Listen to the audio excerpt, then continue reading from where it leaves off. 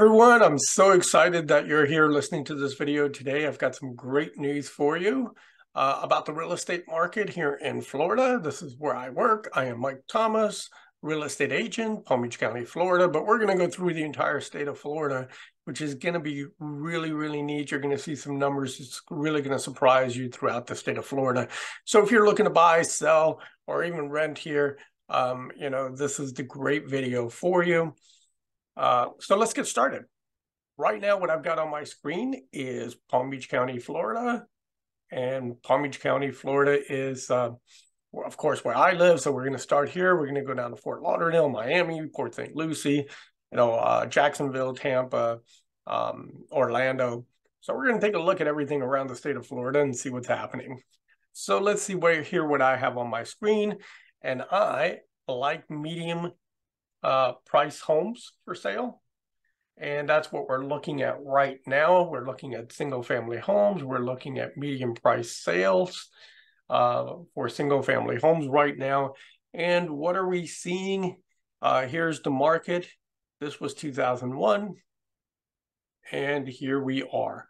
Uh, this does not look like that the market is falling and collapsing, even with the higher interest rates. The uh, interest rates were jacked up uh, right around here. So it started to go flat for a few months. Everybody was worried. Uh, but now it is moving up right along. So it seems to be that Florida uh, is in this bubble of protection that isn't affected like the rest of the country that I'm looking at. But you know what? Let's take a look at some townhouses and condominiums. Uh, that's townhouses, condominiums. And let's see how that market is. Kind of the same way here is September, um, where it all started.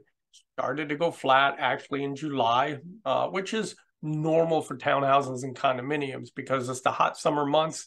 It is not season time. Our season actually runs from uh, November to the end of April. And so this is non-season time. I can understand why things are kind of flat because things are normally flat anyway in June and July, um, August, and then of course September got hit with the uh, rates. November starts kicking in, which is our season time. We come back up, and here we are in our season time. So uh, it's looking pretty good uh, there as well. Let's take a look at um, Miami. Oops, Miami County, Miami-Dade County, right there we are. Let's go to single family homes first. Let's take a look. Medium price sales. Uh, and I look at the medium sales price because I want to know um, if home prices are going up or down. And that's normally what buyers ask me about. You know, are prices going up or prices going down? What's happening in the marketplace? And so with my uh, 30 years of experience in real estate as an associate uh, broker um, here in Florida. This is um, this is some perfect analysis of what's going on here. So here's Miami. Miami does a little bit of weird and crazy things, but that's expected from Miami.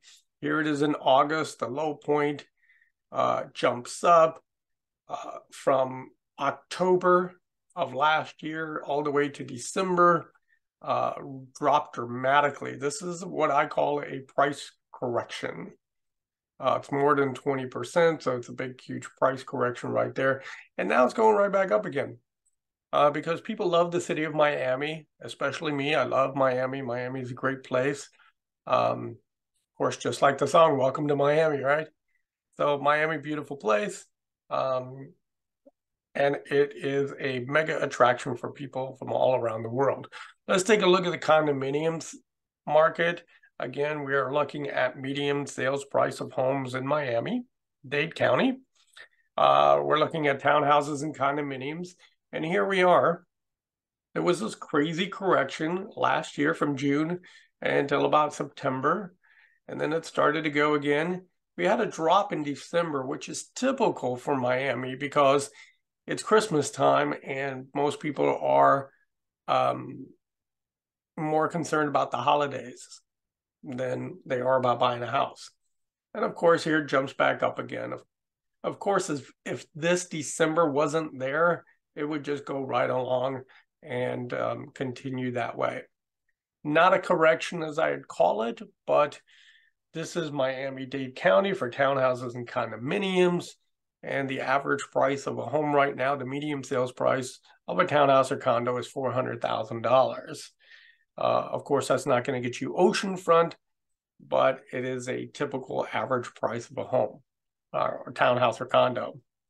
Now, if we're looking at single family homes again, going back that way, uh, in Miami, the average price of a home is $570,000. Of course, again, that's not oceanfront or waterfront properties. Those are much higher. But if you are buying an average home, the medium sales price is 570,000.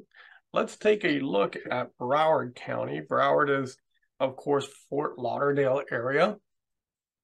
And the county of Fort Lauderdale is very popular as well, especially for spring breakers. Let's take a look here. You notice that it came down somewhat. Of course, the top peak was here in July. It started to drop, but yet right now after December, the new year, it's starting to pick back up again. Home prices are continuing to rise. For a single family home in the Broward area, uh, Broward County area, Fort Lauderdale, uh, we are looking at the, here we are, Fort Lauderdale includes Weston, further out west. Um, nice place, nice city of Weston, beautiful. We're looking at $565,000, which was the medium sale price of a home in Broward County area. And if we switch over to, um, mm -hmm, if we switch over to townhouses and condominiums, you can see right here, there was an end of the year dip, but we are right back up here where we belong. And the average price of a townhouse or condominium is 269,500.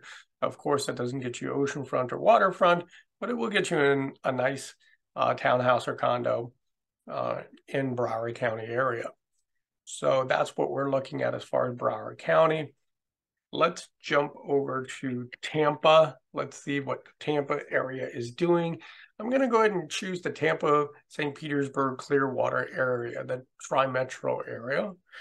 And we're going to take a look at single family homes first. And let's see what's going on over there. Tampa is very popular. And of course, everything's peaked at it right around June 2022. And this is what the market is doing. Took a little dip here, but if that month wasn't there, it would continue to be somewhat steady. Um, of course, going back up January. So we're starting off a strong year here, and you're uh, looking at almost $400,000 for medium sales price of a home. Again, doesn't include any type of waterfront or oceanfront. Uh, so homes are still very affordable in the Miami, St. Petersburg, Clearwater area. Very beautiful place uh, to be. Uh, townhouses and condominiums. This is very, very nice uh, townhouses and condominiums here, you're looking at, it jumped up here. So September, it actually increased uh, as this is where the, the first interest rate hike was, the big one. I mean, there were a few in May up here too. It started to drop down. Uh, December again, kind of um, a slow month. Uh, Miami market is softening as it looks like it's starting to you know come down. It's trying to hold itself here in February, but I think it's uh, it's going to level out and be more steady. It's not as soft as people think it is. Uh, so that is the St. Peter's Clearwater area for medium sale price of homes. I like medium better than average because what happens with an average sales price, if you have one that's really, really low or one sale that's super, super high, it throws these numbers totally off. And so what a medium sales price does, it gets rid of the high one, it gets rid of the low one, and it just takes the takes the sale price in the middle is what most people are buying. So let's take a look at Orlando. Orlando, Walt Disney World. We're going to take a look at the uh, Orlando um, Kissimmee area uh, right there. And we're going to take a look at single family homes first. Orlando is very popular for international buyers because people come from all over the world and they end up buying property uh, here in Orlando uh, for various different reasons. Uh, it's a great investment if you're looking to buy something and rent out. They have some great rental programs here in Orlando, but again, pretty steady. Uh, that mouse is definitely holding Orlando uh, property values in place here. So uh, thank God for uh, Walt Disney and the other uh, theme parks, Universal Studios and uh, SeaWorld, and the other numerous world theme parks. If you have children, Orlando is a great place to keep kids very active with theme parks and fun things to do. So that is a single family home. The average price of a home uh, in the area is 400, about $420,000. If you're looking on something maybe some smaller, um, townhouses or condominiums, you don't like the maintenance of a home, here we are. And that market still is going strong here. Um, hardly skipped a beat. And that's how strong the Orlando market is. So that's a nice area. Let's jump back down to uh, the Naples Fort Myers area. Uh, Naples, Marco, Marco uh, Island. Uh, let's see how that market is doing right now. So we're looking at the latest market trend report. And right now, uh, it did take a dip uh, from about October down to January, but it is moving back up again right where it was before. So pretty strong.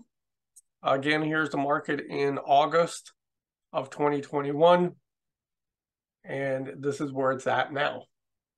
So there, the market um, here in Florida seems to be very uh, strong and a good investment for most people. So let's take a look at townhouses and condominiums. Uh, we're looking at the Naples area, Marco Island, and we are seeing uh, a dip here. But again, it keeps going up and up and up. And again, if you were looking in November of 2021 versus now, the prices are higher. Uh, it doesn't look like we are affected as the rest of the country. If you're looking at a townhouse or a condominium, it's $500,000 on the average, the medium sales price of a townhouse or condominium in the Naples, um, Marco Island area. So let's take a look at some other places. Let's take a look at Jacksonville since it popped up on my screen here. Now, Jacksonville is very unique as well the Jacksonville market does look like it's coming down and softening a little bit, but not as most people would expect. Uh, because even if you bought here in December of 2021 or January of 2022, when the market really heated up, um, it's still higher. So it jumped up and it's starting to soften and come down. I wouldn't really worry too much about um, Jacksonville does have a nice um, nice naval base there, so uh, keeps keeps the market strong here in Florida. Let's take a look at townhouses and condominiums in the Jacksonville area. And we are seeing that they are staying strong. So maybe people are not buying as many homes, but as far as condominiums and townhouses are concerned, uh, the prices are much better, 280,500 uh, approximately. Uh, the average price of, not the average, medium sales price of a, of a condo or townhouse. Let's take a look at the Tallahassee area. Uh, and we'll take a look at the entire metro area of Tallahassee. And we're going to go to single family homes and let's take a look at what that looks like. So the Tallahassee area is kind of softening, but not as much. But if you know things about Tallahassee, uh, it's a big college town. And what that means is that there are months that are not as strong uh, the strongest of the months is normally around the June, July area, the summer months, because people start to buy real estate uh, as an investment and renting out to college students. It's also our state capital, so you get a lot of, um, you know, when our our state uh, government is in session, uh, you have a lot of activity there. But again, uh, in March 22, which was last year, compared to now, uh, still a strong market. Still not as strong as some other places. However, uh, it is still a very, very good market. And let's take a look at the townhouses and condominiums. Of course, they're priced less. And you're looking at a great deal for $175,000 to get a condo or a townhouse in the Tallahassee greater area is amazing. Um, it's doing some weird jumps, but that's typically to expect uh, in the area. Um, here is some some data. Of course, February 2022 uh, against now. So a year ago, you could have bought for 150. Now you're buying for 175, and the market is very versatile in that area. So let's take a look at some other areas that you might want to see. Uh, let's check out Daytona. I know I'm kind of bouncing around the state a little bit, but the Daytona area is right over here. Let's take a look and see what's happening over there. And I'm going to get to my favorite area, which is the Florida Keys soon, which is Monroe County. Uh, see what the Keys are doing. So here we are, market up, up, up, up, up, and still going up. So Daytona seems to be strong in the single family home area because the single family home prices are only around right around $350,000, which is great for Florida. Uh, pretty amazing stuff. And um, so let's take a look at how the townhouses and condominium market is doing right now. And not that much less. So right now, uh, you're looking at the difference between a single family home and a townhouse or condominium. Medium sales price is only $25,000. That's pretty amazing. I would definitely buy a home, a single family home, because with a single family home, you actually own the land.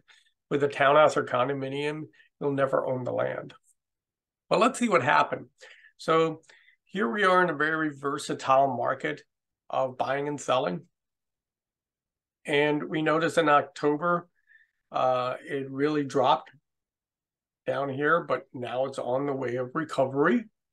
So if I were to take a look at that and say, wow, it's recovering, if I went back one year time, it is still higher, not as much, but we're looking at 312,000 to 324,000. This is an area that if you were thinking about buying, you can actually do that in the Daytona area by waiting it out. I mean, uh, as far as the prices falling and jumping like that, wow, that is pretty amazing. So it's a very versatile market, kind of like Tallahassee. Is there anything else in the entire state of Florida? Let's take a look at the entire state of Florida and let's see overall how Florida has been doing. And in Florida here, we did reach a high point, $420,000 median sales price of a home. Uh, and now we're at 405. Is it softening? Yes, it's softened between July and December, but now it's starting to go back up again. And this is probably a good time to buy here in Florida because the bottom is already hit and it is going back up again. And so this would be a perfect time to, you know, invest here in Florida, the sunny state of Florida. And here we are again. Uh, of course, it's July 2022 in Florida, average medium sale price of a home, 305,000. And now it's going up again, 320. So $15,000 difference. uh, in less than a year in the townhouse and condominium market. So very strong state for real estate. Uh, anything else? Yeah, let's check out the Florida Keys just for fun because I love Monroe County. The Florida Keys. And we are looking at single family homes in the Keys. And here we are, going crazy, huh? Yeah, medium sales price of a house in the Florida Keys is $1.1 million. And here it dropped dramatically when the interest rate dropped. That is a correction in the marketplace. But it bounces right back up. There we are. And as it comes back down again, uh, it's just what time of the year you're buying in the keys and what's available during that time. It's all about supply and demand, and uh, which is kind of um, kind of important. You have to look at supply and demand. I'm going to take a look at my backyard here in Jupiter, Florida. I live here in Jupiter, Florida, and the single uh, home pricing seems to be strong. In July, it was the strongest, but it has come down and gotten a little soft. Uh, looks like about a 20% uh, correction. So you have about a million 25 down to 750,000. That is a 25% correction uh, in Jupiter, Florida. And let's just take a look at one more Palm Beach Gardens. I'm not spelling correctly here. Palm Beach County, North Palm Beach, Palm Beach Gardens. Let's take a look at the single family home market there. Again, bounces up and down. And the reason there's so much um, bouncing of data is because we're very seasonal here. So it depends on whether we're in season or out of season, um, whether they're pre-season buyers, whether they're after season buyers. Uh, this all affects the Palm Beach County uh, market and especially Palm Beach Gardens. We've got a lot of new home construction going on, but if I took a look at uh, August at the height, and now the difference is about a hundred thousand dollar difference in price. So is the market getting a little softer? Yes, but I think with the more affordable townhouses and condominiums here, um, it's even gotten softer. So in May it was 530, and now it's 100 over $100,000 less. So as we look and zoom in on specific data, I can even look in certain zip codes as well, uh, it does make a difference. So that is the market report. Do we have anything else that we want to look at? If there's another market that you want me to actually look at, uh, maybe like the Melbourne market uh, or the Vero market, let me know. And I can take a look at that market and give you the statistical data and analysis of that market. Take a look at single family homes. So leave me a comment below. Tell me which uh, area that you might be interested in, and I will do my best to respond to you with some statistical data on that market. Um, my name is Mike Thomas. I am a real estate agent here in Palm Beach County, Florida. Uh, if you need me, uh, my contact information is always below, and you can always leave a comment and let me know exactly what you're looking for.